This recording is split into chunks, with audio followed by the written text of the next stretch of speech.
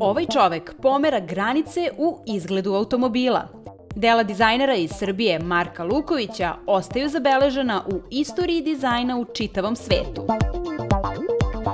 Automobili su neka obsesija možda svakog mladog dečaka. Mene nisu interesovali kao ni da danas e, automobili u smislu brzine, performansi, već e, njihov oblik i istraživanje forme koja naravno kao dizajneru je glavna, i, glavna neka preokupacija.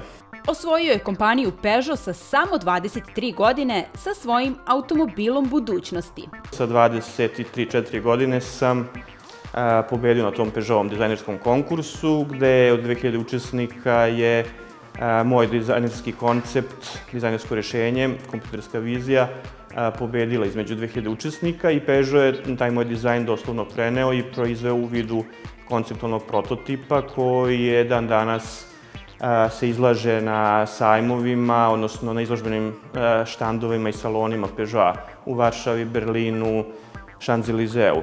Kad je krenuo proces izrade tog automobila, pratio je svaku fazu projekta. Odlazio je nekoliko puta u Francusku i na kraju je napravljen automobil koji je Marko zamislio. Pa to je jedan od najlepših osjećaja. Svaka realizacija za industrijskog dizajnera je kao da mu se bukvalno rodi neko svoje dete, novo i novo. Specifičnost ovog automobila čini njegova sjajna površina koja je u stvari čist aluminijum. On poseduje fotoreceptivne ćelije i kroz taj sistem napaja energiju dok su veliki točkovi namenjeni za off-road vožnju i za neke neravnije terene. Gledati takvo vozilo ispred sebe bilo je ostvarenje Markovog dečačkog sna.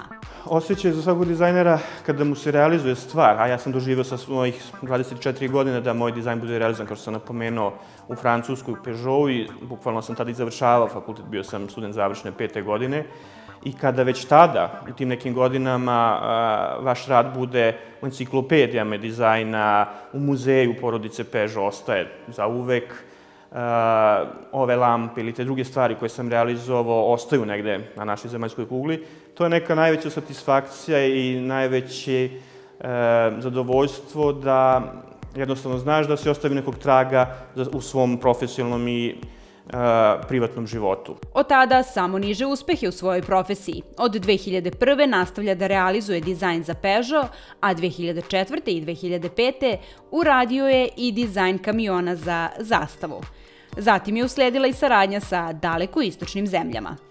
Moja matična struka je industrijski dizajn koji podrazumeva, naravno, dizajn automobila, ali i dizajn svih industrijskih proizvoda koji se nalaze na tržištu. Tako da sam imao prilike i da sarađujem i sa domaćim klijentima i sa klijentima u stranstvu, gde sam u poslednje vreme realizao opet neke interesantne solarne lampe koje se sada proizvode i e, plasiraju se na tržišta e, dalekog istoka, znači neke se nalaze u Dubaju, neke se nalaze u Moskvi, neke se nalaze u Tini i interesantno je to da, eto, uspeo sam i da ostvarim takvu e, saradnju da odavde radim dizajn, a da se to već u uh, njihovim fabrikama realizuje samo na osnovu mog kompjuterskog fajla koji im pošaljem.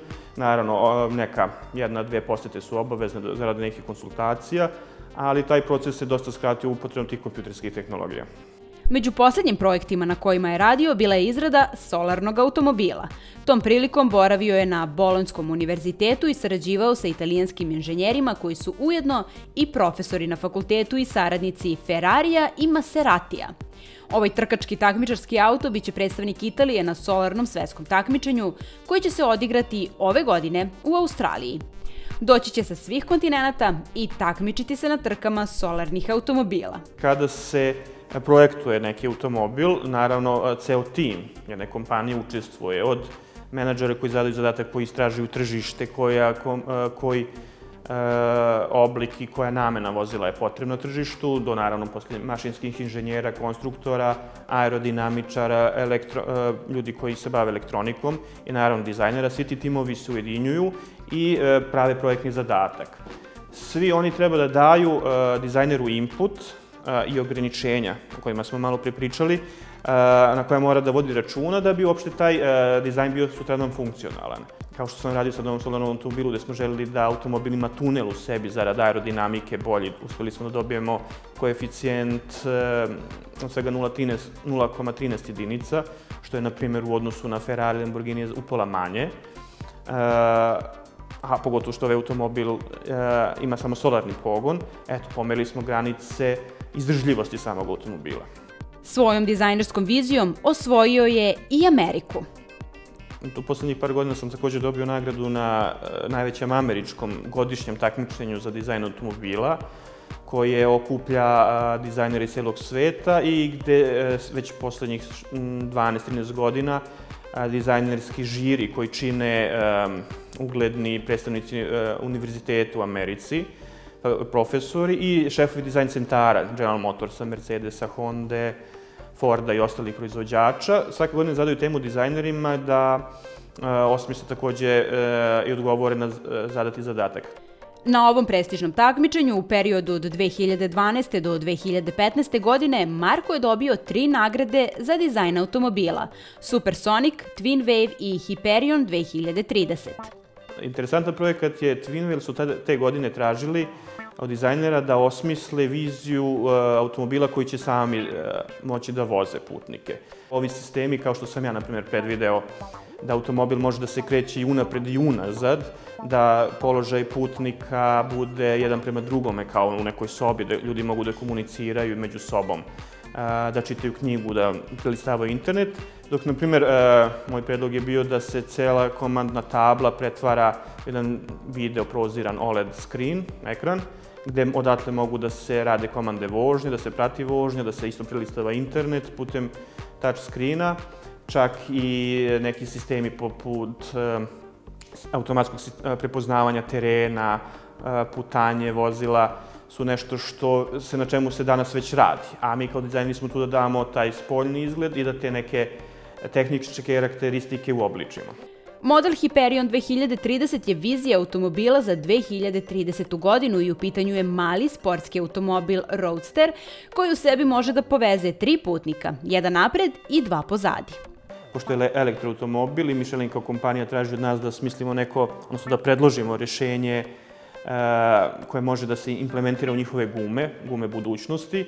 Ja sam smislio da putem kinetičke energije e, i senzora koje se nalaze u gumama, ta energija se stvara i implementira se u baterije koje se opet nalaze u samoj felni i ta energija onda odlazi u male elektromotore. Sada elektroautomobili imaju svaki svoj elektromotor kod točka i na taj način se prenos energije vrši u vozilu. Marko već 17 godina predaje na Fakultetu primenjenih umetnosti u Beogradu. Jedini profesionalno uči svoje studente istim tim tehnikama kojim i on sam projektuje. Upornost je nešto što se ceni u našem poslu i što može da da rezultata. Naravno, i faktor je malo i sreće, da li ćete u pravo vreme, na pravo mestu sredsti možda potencijalnog klijenta, ali ako se uporno radi, obično se kockice slože, pre ili kasnije dođe do uspeha. Kao mlađi razmišljao je o odlasku u inostranstvo, ali je vremenom shvatio da se poslovna saradnja sa ozbiljnim stranim kompanijama može ostvariti i iz Srbije. Ovo su projekti koji se rade nekoliko meseci, pa čak godinu ili dve dana kada su ovako veliki projekti u pitanju. Tako da me to okupira i u svom, što studiju mogu da se bavim time na način na koji se bavim i da sarađujem putem e-maila, Skype konferencija, kada je neophodno da se ode ipak neki dogovor, ipak tu postoje sada i avione i stigne se svuda po Evropi za par sati. Markov talenat kao i upornost su se svakako isplatili. Kako kaže, čeka ga sigurno još nekoliko decenija rada i uveren je da će se osmisliti još neko veliko dostignuće na polju dizajna.